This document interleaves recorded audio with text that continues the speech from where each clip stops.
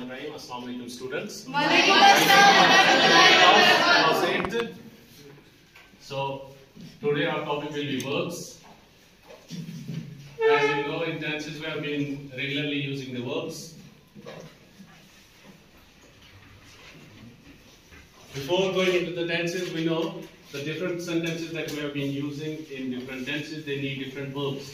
The verb is a man constituent el- element of the tense. Verb is man constituent. And verb has got different forms. You have to first fully understand it. What verb is, how many forms of verbs are there. And in this class, I'm going to teach you what verb is, its different forms and its uses. And I'll share with you the example sentences by which, which will help you fully understand it. Okay? Yes, sir. You know what's uh, different parts of speech you must have known. Like there's noun, there's pronoun, there is adjective, there is extra noun as it's a naming word. Uh, pronoun is used instead of noun. What's verb? Verb is actually a word of action. So everything, every uh, throughout the world in the universe, there is action, there is movement. Everything is in the form of action, in the form of movement. We people always do something. So this is action. What somebody do or what somebody does, this is action. So the word which implies it, which shows it, is actually the verb. Verb, as you know, is the word of action. And it has got different forms. How many forms of verb we have? Five. We have five forms, and they are the first form is the man form of the verb. It's known as the base verb, or we call it as the root verb, because it's the man verb. Once you know this verb, you can then extract all the four forms of the verb from it. This is the man verb. Man and This is verb. the base verb. This verb shows you what verb, what the action is about. First verb we also called as present form of verb. Then we have second form. This is known as past form of verb. Note this that this past form of verb is separate from past tenses. Past tense and future tense and present tense is something else, but in case of verbs, past form and past participle form and present form of verb is totally entirely different subject, right? Past form. And the third form of verb we call as past participle form. The fourth form, Inform. uh, actually there are three main forms of the verb. The first form, the second form, and the third form. First is the basic form, which we call as the base form or the root form, the present form of the verb. Yes, sir. After the first form, you can extract the other two forms, the second form and the two, uh, third form. Then the other two forms, the fourth form and the fifth form, they are easily extracted. They are the expanded forms of the first form. First form. So for fourth form, we call it as present participle form. Present Participle form. participle form, or we call it as continuous form, or we simply call it as ing form. of Ing the verb. form. Because in the first form of the verb, we have to just add ing to the first form. First the last form. form of the verb is as form Form or or ES form. It's also the first, basically the first form of the verb. Only we have to do, we sometimes need to add s or es to the first form, First form. right? Yes, So sir. give me the example of certain verbs. As you know, the verb is the word of action. Verb is some moment. Give me some, uh, yes. Play. Play is a verb because there is action. You give me an example of verb. Sleep. Sleep Sleep is a verb. It, if it uh, doesn't uh, mean that it's an action, but uh, it takes the energy of our body and we have to go through a process and then we sleep. You know, sit is a verb, stand is a verb. Go, come, read, Yes, wash, play, Yes, run, Dream, walk, dream, wash, dream, everything. So these words which have actions in them which depict some action, they are verbs. Verbs. But there is an exception, I'll share with you. There are certain verbs, not too many in number, which do not show any action, but they are still the But verbs. Still the verb. They are still verbs. They don't action, but they are verbs. They have their forms. These ver- verbs are known as non-actionable verbs are known as non-actionable verbs. They don't have any action in them, but they still are verbs. For example, Thinking. think is a verb, Dream. dream is a verb, No. possess is a verb, right? Yes, sir. Uh, there are some, certain other verbs which like is a verb, hate is a verb, uh, So these verbs are actually verbs, they have their different forms, but they do not have any activity associated with them. They are non-actual verbs, but they are very low in number, hardly 0. point some percent. Rest of the verbs, the nine, more than 99% of the verbs are actual, actionable verbs, they have action in them, they are the activities. Right? So let's now have some example of some verbs. For example, here it's played. Its second form will be Played. Played. We have to just add ed. Its third form will be Played. Played. Its fourth form will be Played. Played. We have to only add ing. And its the fourth here, two things you must have noticed here. The two forms, second and third forms, when we make them from the first form, we just added ed in the first two forms. And in the fourth form, we added and in the fifth form, we added s. Right? So the three forms, the two forms, the second and the third form has some different rule. Fourth and fifth form are common. Any verb, whether uh, it's any verb, just uh, you have add ing in the fourth form and s in the fifth form. Fifth form. But for many verbs, they have different rules. For some verbs, you can add ed, but for some other verbs, you cannot ed. They have their different forms in pronunciation as well as their formation. So you'll know that later. So drive. Verb, verb. Second form is Worked. verb. Third form is Worked. worked. Fourth form will be Working. working. Fifth form is Works. works. Wash is a verb. Washed. Wash it. Its third form again will be Washed. Its fourth form will be Washing. Its fifth form Washes. will be wash. So these are some verbs. Now let's write here. Let's let me mention here some other forms of verbs whose second and third forms are totally different from these sort of verbs. For example, Drive. And drive. Its second form is drove. Driven. Its third form will be Driven. driven. Fourth form- Driving. Driving. Drives. Its fifth form definitely will be drives. Drives. So, some other verb whose second and third form is not made by and just ed. Sing. Come is a verb, right? Its second form is Can. can. Third form is again Come. come. Fourth form will be Coming. coming. Comes. For example, we have verb write. Its second form is Written. wrote. Past form. Written is past partial form. Its third form is Written. written. Its fourth form is Writing. writing. Its fifth form is. We have a verb sing. Its second form is sang. Sang. Its third form is Sung. Its fourth form is Sing. singing. Its fifth form is Sings. sings. So we have this group of verbs, but here you definitely would have noticed two clauses of verbs. The first clause of verb has five forms, as the five forms is for all the verbs. But for first three verbs, you will have noticed that the second and third form is made just by adding e into the first form. The fourth and fifth form is common for all the verbs, from top to the bottom.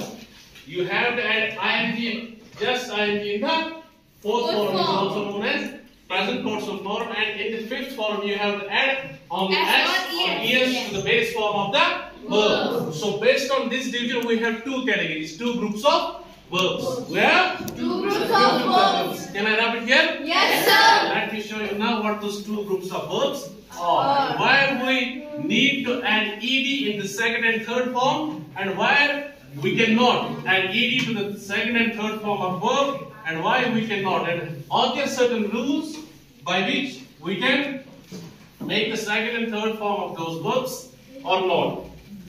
What's the rule? So, based on the basis on this formation, right? We have two categories of verbs.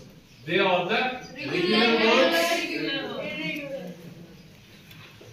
Regular verbs are simply those verbs whose second and third forms are made or formed by adding ed to the first form. As you have many examples, I have written here only three examples. You can have many more examples. You give me some examples of regular verbs. Work, work, work, Yes, we have walk, walked, walked, walking, walks. Wash, washed, washed, washing, wash. Some more examples from you? It's not read, read, read. It's written. The second and third forms of read is written same as read, but it is pronounced read in second and third form. Right? Yes, sir. Clap, clapped, clapped. Died. Hmm. Play. Died, died, died. Walk, walked, walked is again the same Play. example. Played, played, played is same example. Lock. Lock. Ah yes, lock, locked, locked. Smash, smash it, smash it. Trash, trash it, trash it. Nail, nail, Trash. nail it. Finish, finish it, finish it. Crash.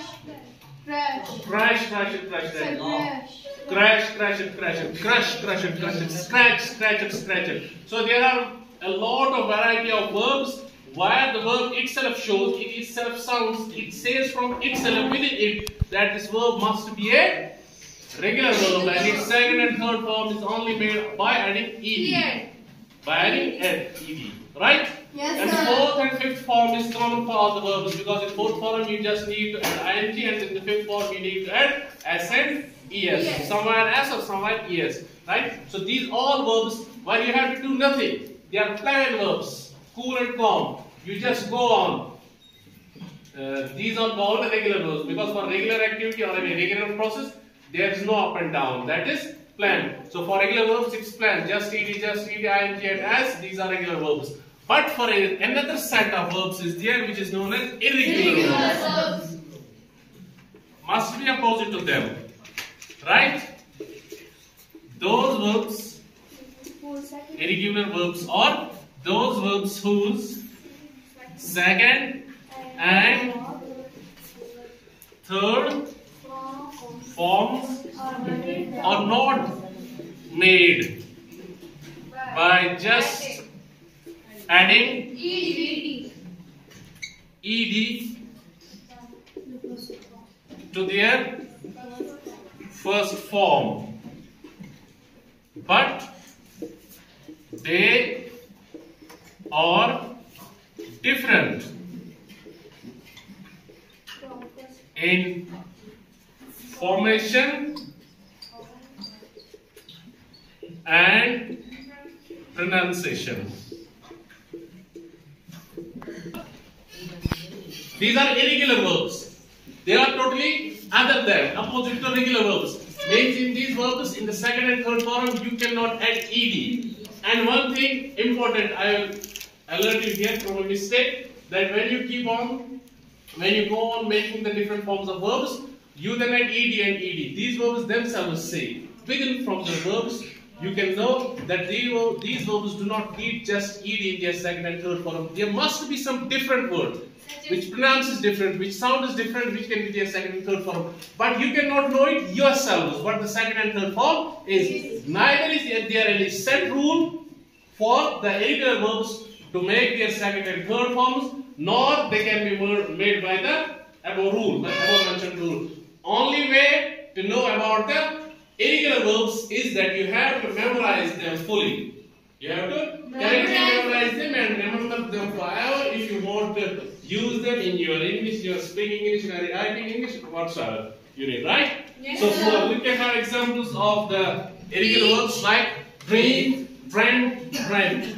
Dreaming and dream is the fourth and fifth form are the common for the regular verbs as well as the irregular verbs and all of the verbs, right? Yes, sir.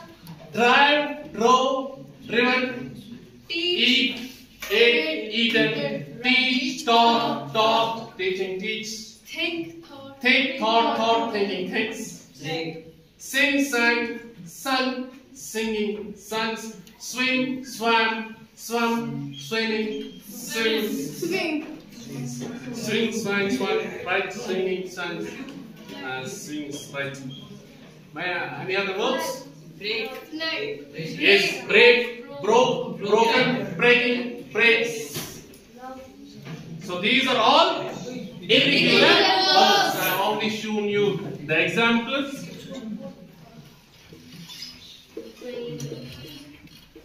One more thing I want to show you here. The last form of the verbs is same for all the regular and the irregular verbs. Only thing you need is to add s or es. Where you need to add s and where you need to s, add es is simple case. You need to add s to all the verbs. To all the verbs ending with any letter. Only verbs ending with the letters. Verbs ending with letters O, CH and SH. You need there to add ES. For example, you have verb go. When you make S form, it is goes. Right? You have verb do. You make it spouse form, this does. You have verb crush. Here the lost letter is SH. It becomes Crush. crush. ES is added. Right? You've got smash. You have smash. You can make the verb smash. Except. The last letter should be O, SH or CH. Does it have these three types of letters at the last? Rush. The verb which you just spoke, Except. except, except has T at the last. Yes. But the verb itself should be having without S, the last letter as O, SH or CH. Uh, you have Teach. many verbs? Teach, yes. Teach is a verb. Good example.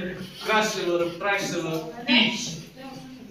Teach a verb, the last letters are CH. And when it's lost form, it becomes Teach. You add ES. All other verbs, you check it yourselves. All other verbs other than these three types of verbs where the last letters are O, CH and SH, only S. Is your question?